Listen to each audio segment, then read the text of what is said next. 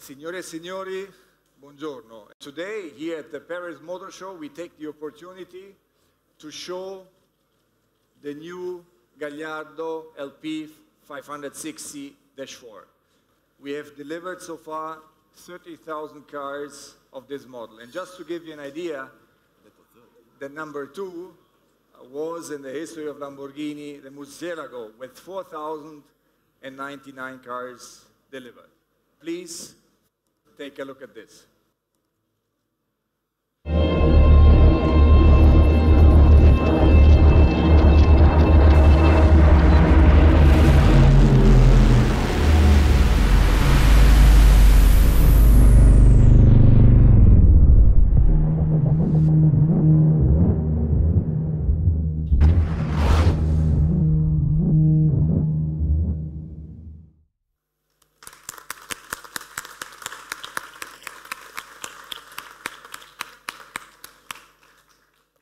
For the Gallardo, we have uh, a clear model strategy, uh, which is based on the Superleggera, on the four-wheel drive car, and on the two-wheel drive car.